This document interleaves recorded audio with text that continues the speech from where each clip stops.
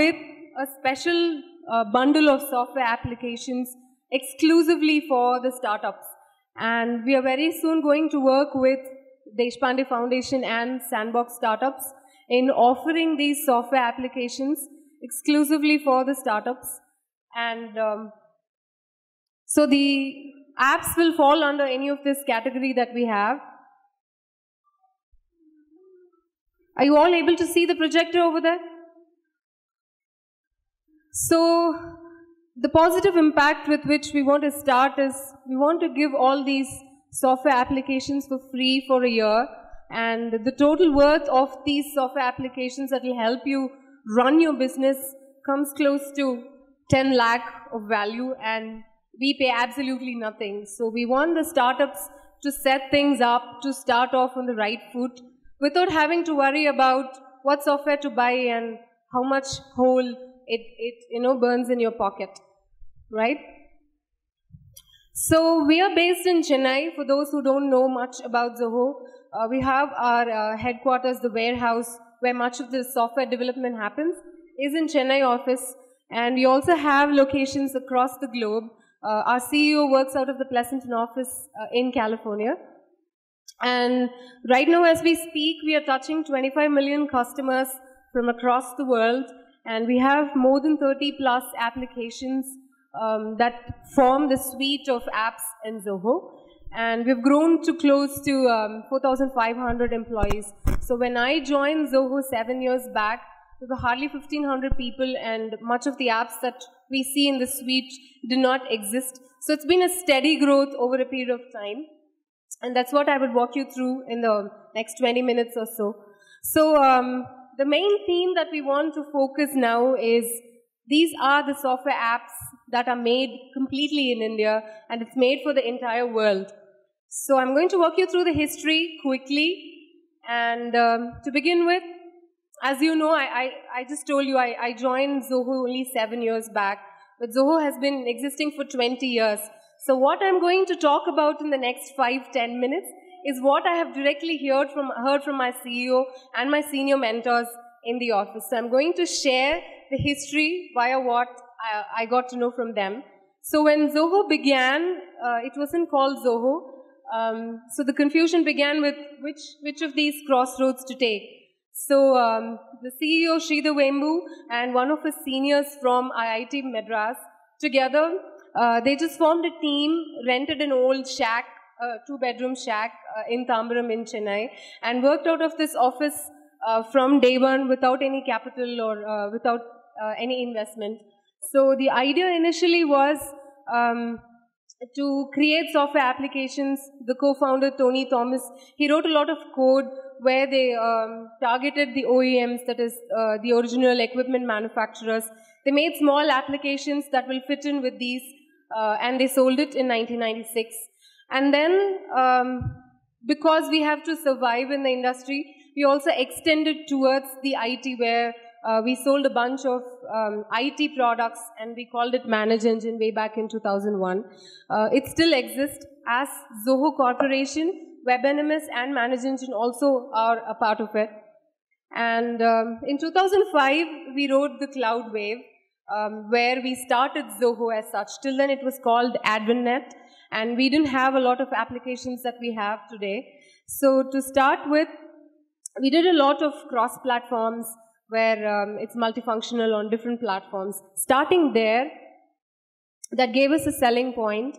and I was told that uh, our CEO was employed elsewhere. So his salary was the only capital uh, these people had when they worked out of the shack, and uh, they didn't have any investment, major investment at that time. So if you look at the growth from 96 to what we are in 2016, it's been a steady growth. We didn't hire a lot of employees until cloud came into business. So after 2005, uh, we hired a lot of employees and we started working on building software applications on the cloud. And this is a quick number. Uh, right now, Zoho is touching 25 million customers, but we're planning to, um, you know, extend and focus in India more this year. So, uh, for those who have not heard about Zoho, this is just a quick introduction um, of what we are. Uh, we are an operating system for business And a quick definition of operating system, if you would ask, it's, it runs everything of something, just like you have uh, a computer operating system or a car operating system that has various components that helps the car basically to function. We are the operating system for business. So we give you all the important components that you need to run your business, to set your business, and also to scale it up. Right? So um, if you want to know about what the thought process was for Zoho to come into existence, what is the purpose that we mulled over um, for these apps to come into uh, business, is we thought about what does any business do? Why does it come into existence? So we, we categorize basically this into four categories. So business, basically it models an activity and you have a quality that you follow throughout from the beginning till you introduce it to the market. And any problem that you take that your business wants to solve helps in reducing error and thereby also frees a lot of time. Right? So based on this, so we categorize this into what do we want our business to do.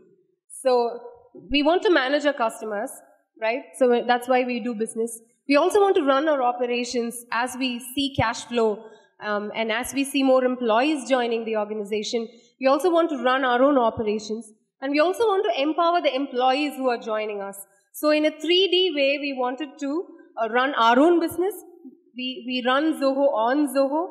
And we also wanted to address the market based on this.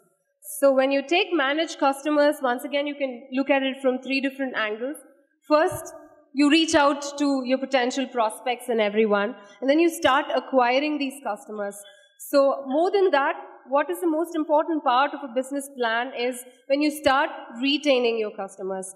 So um, we looked at what apps we can bring to the market that will help you market your business. It also helps you in sales and also helps in retaining the customers by offering them support. So if you look at these fundamental principles, you can stretch it to any business applications in the world. It's, it's quite simplified. And if you want to run operations, you look at uh, the people that you hire and the cash flow that comes in and, and various other assets that you want to manage. So that resulted in us getting apps that is specific to recruitment, that is human resources, and how to manage the finance internally and externally, and also run your IT business. So I'll come back to the list of apps later. So to empower your employees, inside Zoho, if you see, we have the marketing department, we have uh, the creative that works on the website design and the landing pages and everything. There are a bunch of editors who help in uh, getting good content out there. We also have an internal forum of discussions. So we have a lot that is happening inside our office too. So to, to help establish um, environment that will help both in creativity and collaboration, we needed a bunch of apps, right? And how do you communicate with the customers and also with your internal employees? So keeping this in mind, that is authoring content, sharing it, and also communicating and collaborating, we came up with a bunch of apps. So basically, the segment goes back to all of this. You manage everything around your business all in one place. So you don't have to run in different directions. You don't have to manage multiple vendors. You don't have to worry about data and security. And you don't have to uh, go through the trouble of uh, remembering different usernames and password. And when an, a certain employee that plays an important role in your startup leaves, then there's a lot of responsibility they leave behind. So how do you catch up from there? So to avoid all of this, you have all the solutions under one cloud. So this kind of growth that we have that can give you a complete business solution did not happen overnight. So if you look at the history of Zoho, we, when I joined, we hardly had two applications, that is the Zoho CRM, and we also had Zoho Connect that helped in uh, collaborating internally, more like an internal forum of sorts. From there, we have gradually evolved, gradually added one or two applications to the kitty, and now we have more than 30 plus applications in the market. So um, this is one quick uh, survey that one of my seniors did to help in this presentation. So we asked real people, you know, we have all these solutions in one, under one roof. what happens to those who have not heard about Zoho or who have been into existence and running, been running their business for a long time? So the question asked was, how do various uh, you know, businesses, what kind of technology do they use? And um, for example, what do you do for your CRM? What is the forum that you use for internal discussions or for any announcement? What is the app that you use for invoicing? So we, we um, ran a bunch of these questions across our friends, and this is the result that we got. So you, you see how many uh, solutions that we have to run to, how many vendors we have to manage to help our business run. So the very purpose of Zoho coming uh, into existence is to eliminate all these challenges that any small businesses or a startup or any business of any size would face to have all these solutions under one umbrella. So, so the end result of the survey was some of them ran their business partly on cloud, partly on premise. So it was kind of hodgepodge, uh, you know, quick fix kind of solutions. So we were just wondering if everything was fine. And uh, the, sorry, the image is not loading. So we, we saw that the end result was a lot of mayhem for the user. And you don't have to imagine the plight of the admin if you hire someone, you know, what maybe it resulted in this condition. And what does it do to your customer? So the end result of all your poor management and uh, data and security problems and all that, what does it do to the customer, right? So on top of this, what happens when various department inside your business, your startup or your small business, does not have a platform to talk to each other and to be connected with each other? When you start off probably you're two people who are co-founding a company and then before you know you you have spotted customers and then you're growing at a speed. And suddenly when you look back you see this this kind of happened in the initial stages even in our very own organization where there is a collection the receivables department sends one mail to the customer saying okay your time up for payment and then please go ahead and make it within the period of 30 days. And the same campaigns department sends another mail to the customer saying, we have a special offer running today. And then there is an irate customer, the same customer, who has written to us saying the problem that she has reported, it still remains the same. And unaware of all this, we have been selling a product upfront with, with a lot of sales and discounts to the same customer. The customer is not willing to use it anymore, right? And then we have the marketing team. So it's that disconnected while you grow, and this is how we serve the customers, right? Imagine their plight. So it's not just important to have a random set of tools and say, okay, I'll get my business running. So what do these tools do to each other? It's not eh, depending on how well they work, but how well they work together, right? So this helps in bringing all the departments together in a way which is one of the prime reasons why Zoho looks at integrating tightly with various of our other solutions that we offer. They don't function parallelly, they don't function individually, but they also function seamlessly with a lot of other apps that we have. So how do some companies, uh, once again, when we did a survey, we found that it's a kind of jugaad that they do, a quick fix that they do with some homegrown tools. Hire an IT guy who really does not understand your business. You don't, you don't exactly understand what that person does sitting in the office. And someday he vanishes, you don't know how to run your business anymore. So we see that the second way is to get a lot of apps and then work on talking to each other. Right? So before you get your business up and running, there's a lot of homework that you have to do. And this is a third way where there is, there is a bunch of uh, solutions that you put and you work on making them integrate. So a lot of what you earn at that time, you spend on setting these infrastructure up. So keeping this all in mind, we came up with why not have these solutions under one roof? So, for example, if you take any random uh, applications from Zoho, for example, Zoho projects and Invoice, say I'm running a project, I have a vendor, I have a client, and over a period of time, I either receive payments or I have to make payments, and I also have customers in the same project. So, do I have to run to another um, invoice solution that does not really talk to my projects? So, depending on how much time someone has worked on my project, I automate the billing process by making my project and my invoice talk to each other. Another example is how we communicate with people. Say, um, inside your organization, someone wants to communicate via chat.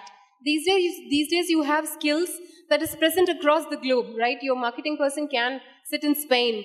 Um, the head of um, a design can work out of India. Somebody else is in New Zealand. So, uh, to be in the same time zone, say someone is uh, quickly opening a chat window and talking, and you're just new to the organization and you don't know who is who. So you get this information from a people management system that tells you who this person is, what uh, in the hierarchy, the role that they play, and everything.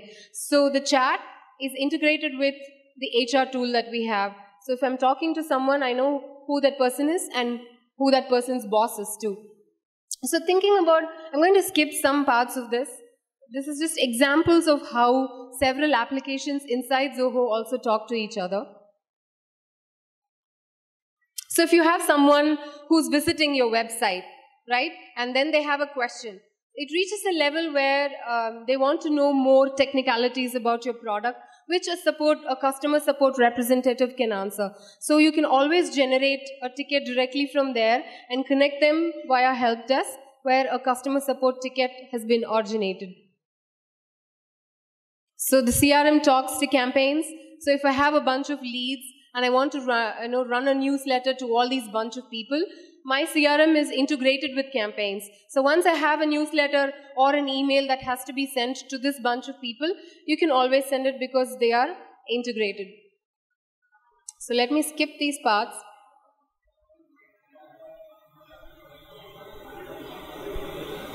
So I, I just have a quick pop quiz here to understand how the organization, Zoho as an organization, functions internally. An important part of history, an important part of success is we all employees who make Zoho what it is today, other than the customers. So can anyone take a guess of um, what this setup can be? Which organization functions in this setup? So th there is there is a central point from where there is a lot of directions and orders that is given to various employees. No, this is famous organization from the world. The center is, of course, the CEO or the head. I'm asking you to guess the name of the company that functions in this way, hierarchically. The way in which order and direction flows. So maybe I'll do, give you the first clue and then, then you know what it is. This is Apple. Any guesses of what this can be? So this is just to understand how people within the org work collaboratively. Okay, Google. This? Good guess, but close. Facebook?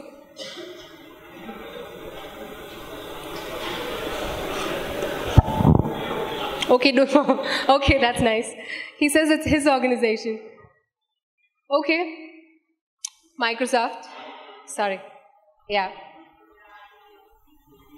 Any guesses on this?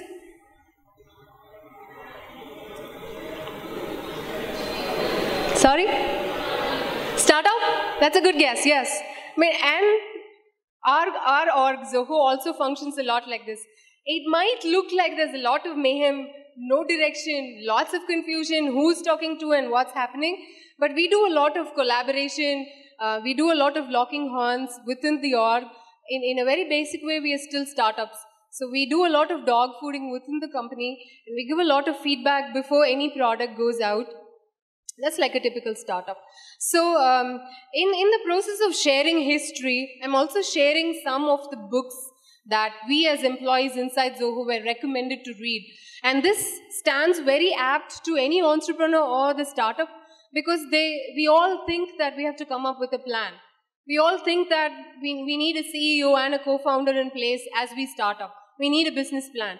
We have to know where we will be in, at the end of six months. What is my office going to look like? Will I have some uh, cushiony place and, and a free running Wi-Fi and an endless supply of coffee for me to get started?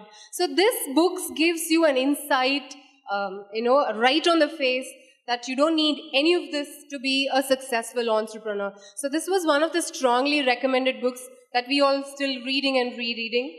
And um, so if, if you look at my presentation, I have basically divided it into how Zoho has evolved till this day.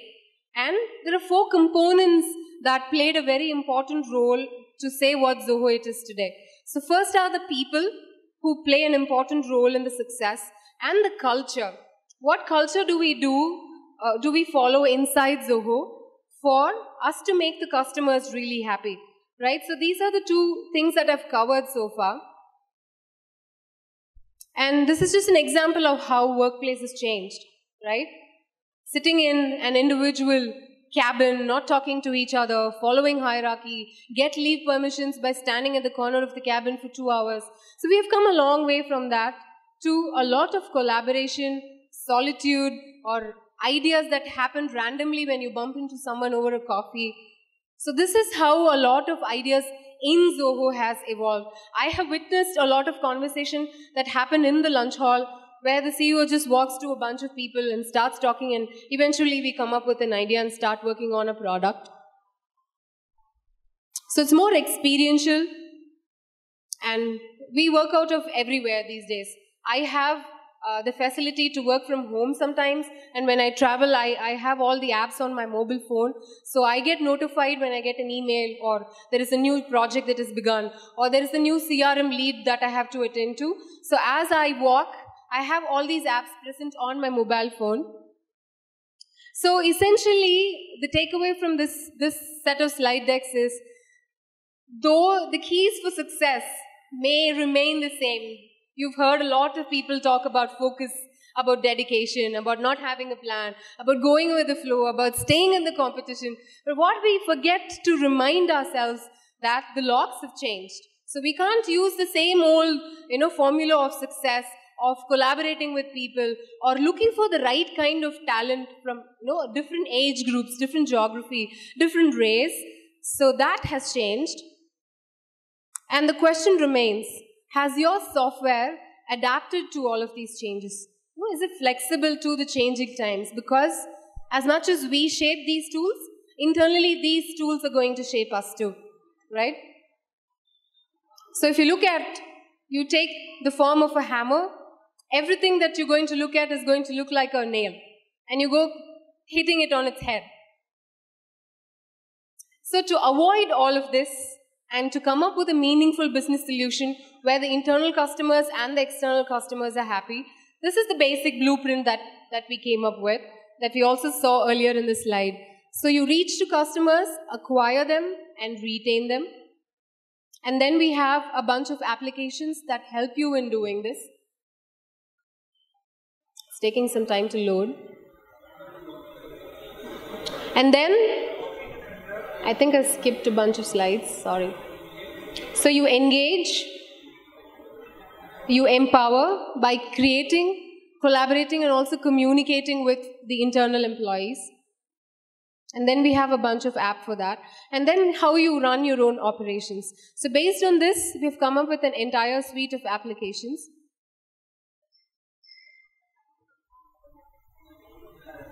How we also expand and procure. So this is something that you would want to look at at this time because we thought at one point when we were expanding the suite of business applications, we also wanted people to have a platform where they can build their own apps. So Zoho Creator is one such where with very minimum background of programming, you can build your own apps and put it on your mobile and get going from there. So this is how um, our entire suite of applications look like that are tightly integrated and talk to each other. So we engage, empower, we also run ops, and we stand out. So I've intended to play a video here, but I think it's just getting ready. We'll come back to that. So we do a lot of dog fooding here in Zoho.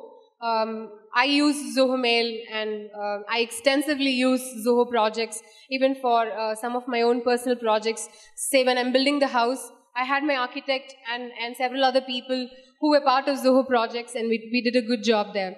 So this is just a quick big picture of how Zoho looks. So here comes the most important part where uh, I would like to engage with you if you have some questions because so far it looked like a neat success story, story and we didn't see a lot of thorns, right? What is the challenges that we faced? What are the challenges that we face and what did we do things differently? Look, not, not in the conventional manner. So the set of things that we broke at Zoho are these. So I'm not going to go in detail with this, but just take a look at these topics. And if you have any questions, if you can just choose the topic, I can just talk about only those now to save some time. So if any of you from the audience want to choose from any of this, and I can elaborate on that, yes? Performance appraisal, that's a good one. So um, I'm going to tell you how performance appraisal happens inside Zoho because it's a, it's a very important measure of growth, of performance, of capability of an individual. Here we have a lot of mentors inside Zoho, though we have a lot of managers too. I, I report to the CEO of the COO of the company, and uh, I've not had a formal performance appraisal so far. So it hap- it might have happened over a coffee and I didn't know, or maybe I put forward an idea, or we had a discussion during a lunch break. So this is over a period of time.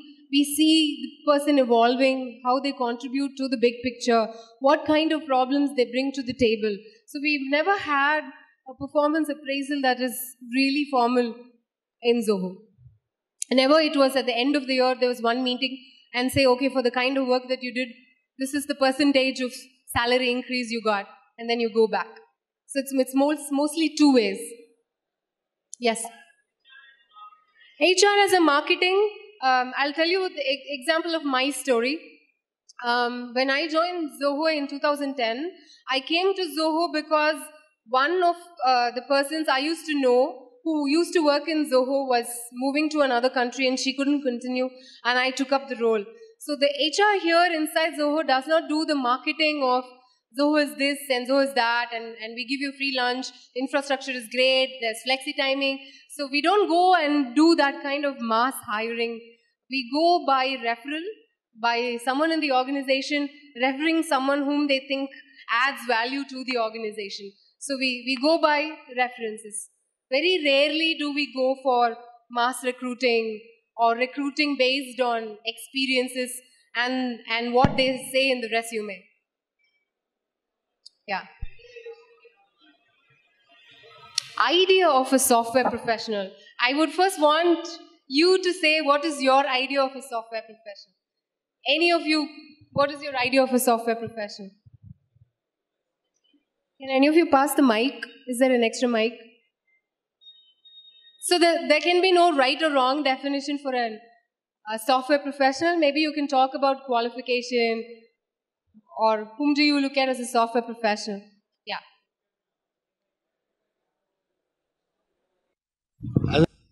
who can somebody who can work for long hours actually especially Okay, someone who can work for long hours, almost live out of the office. Okay. Can, can you just um, increase your volume and just say your answer from that?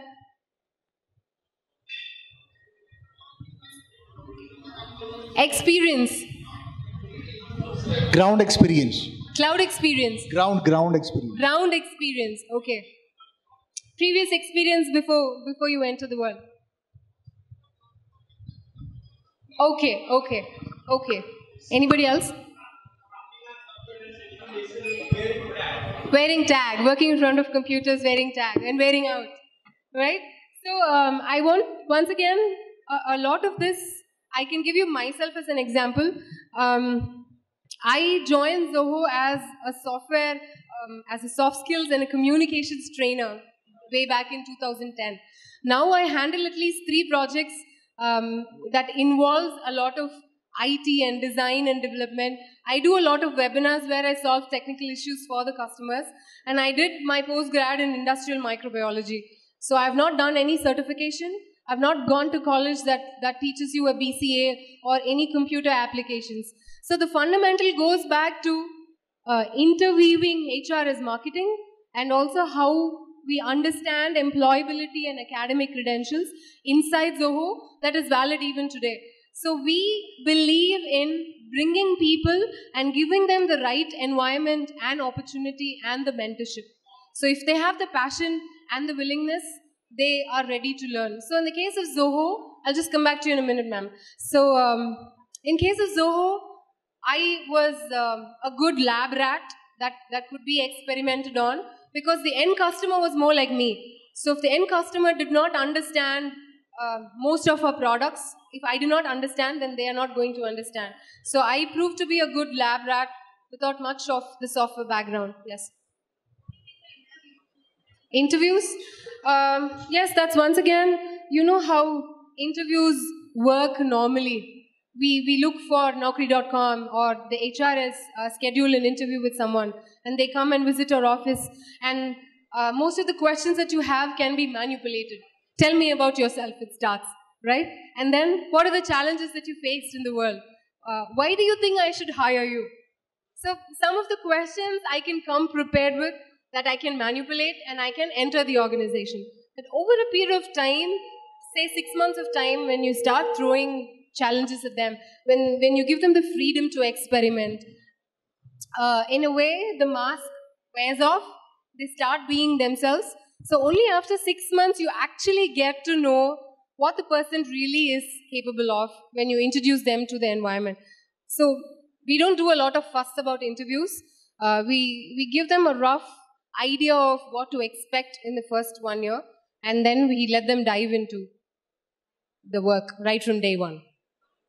In fact, when I joined, none of my certificates from 12th grade or college was even checked.